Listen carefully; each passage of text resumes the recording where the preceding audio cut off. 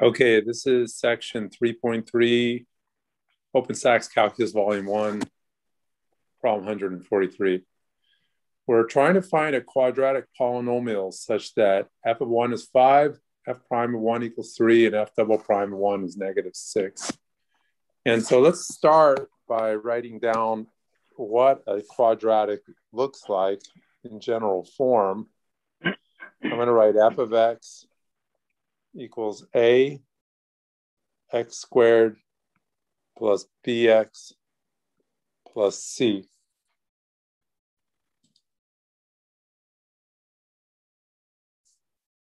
Okay, um, that came out a little funny looking for some reason. All right. Then I could go ahead and plug in x equals 1 to this. Um, yeah, maybe I'll do that right now. Put little dots here. Oh, maybe I, I don't know what. Uh, I sort of sometimes don't think it's good to just put arrows arbitrarily without meaning. So anyway, maybe I won't even put an arrow. But what I'm going to do is I am going to plug in um, x equals one.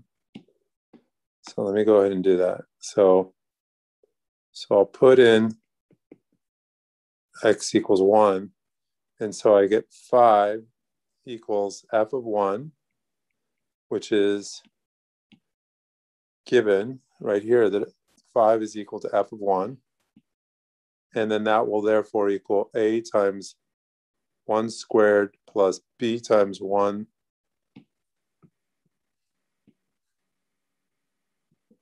plus c. So if I just simplify this, I get a times 1 squared is a, b times 1 is b, and I have c, and that equals 5. So the result is I get a, you know, I get a relationship between a, b, and c. a plus b plus c equals 5. Well, you know, there's an infinite number of solutions to that, so let's continue. Let's go ahead and take another derivative, or take a derivative here f prime of x of this general form here is 2ax plus b. I use the power rule there. And again, I'm going to put in x equals 1. In fact, this whole part right here is put in x equals 1. All, all of this, this, you know, this little side thing is putting in x equals 1. Okay, so I don't know. Wow, I'm getting too much with these lines. Okay, so if I put in x equals one, then I'm going to get this time three equals f prime of one. Where's that coming from? That is over here. Three equals f prime one. And so, but putting in one gives two a times 1 plus b. And then that will simplify to 2a plus b equals 3. So what I have here is I have two equations. I have this a plus b plus c equals 5. And then I have another equation, which is 2a plus b equals 3. So I have two equations.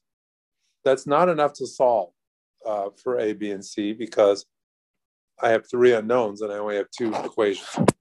So let's go ahead and take one more derivative and we get f double prime of x equals 2a. And then again, plugging in, I get negative 6 equals f double prime of 1. So I plug in 1. So where I'm get where am I getting that from? From right there. F double prime of one equals negative six, and so that means uh, you know plugging in one is just there's nothing to plug in. So it's just f double prime of x is two a. So two a equals negative six, and that gives another equation. So I have these three equations with these three unknowns.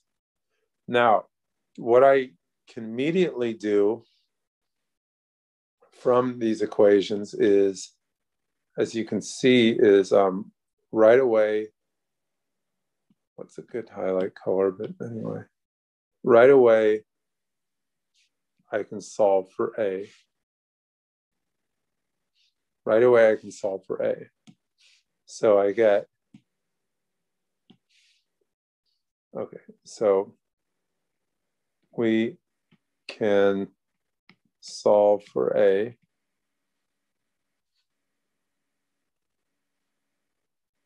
Two A is equal to negative six.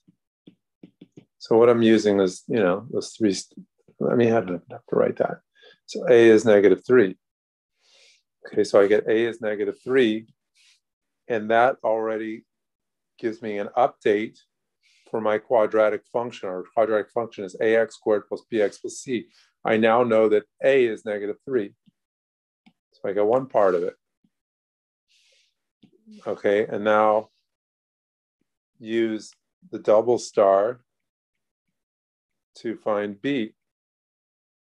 Okay, so double star gives 2a plus b equals 3. Okay, so, you know, I have that equation. It's in green. It's marked double star. 2a plus b equals 3. I put in a is negative 3. And I hope I'm not making a mistake. I did this problem before and I made some silly mistake or something. So, um, see, I'm making a mistake. Please speak up. So uh, there we go. Looks like I got that. And then we're going to find C using the triple star, which is triple star was A plus B plus C equals five.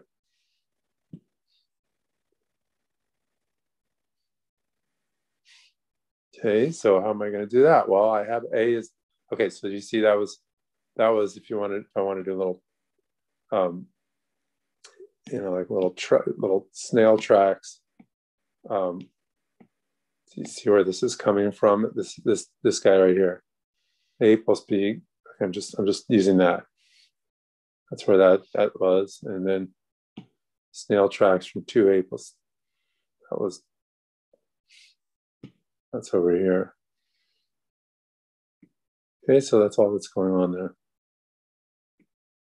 Okay, so uh, A plus B plus C equals five, and so that makes negative three. So I already found A is negative three, plus B, that's nine, plus C equals five. So six plus C equals five, so C equals negative one. I, I feel like I'm not getting the right answer. I feel like somehow I'm not doing this right. Oh, that's what I got. Oh, okay, good. All right, I don't know. I just because I'm making a whole video, I don't want to get the whole thing wrong. That's all this trouble. Otherwise, I don't care that much. so anyway, so we have okay. So put into right. So, so see. So put a equals negative 3, b equals 9, c equals negative 1.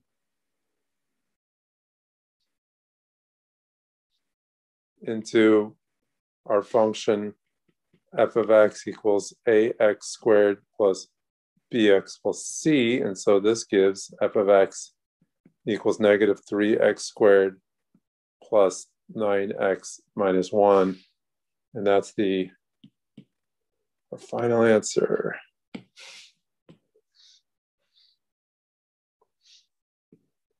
Okay, and, and then you can also, you know, you can also go back and check each of those three equations, star, double star, and triple star, to make sure that the values of A, B, and C work. Um, it's it's it's pretty easy just to do that. Um, in in you know in your in my head, I can do that pretty easily. But Okay, so uh, are, are there any questions then about that? Anything on there? Okay, so let's end the video.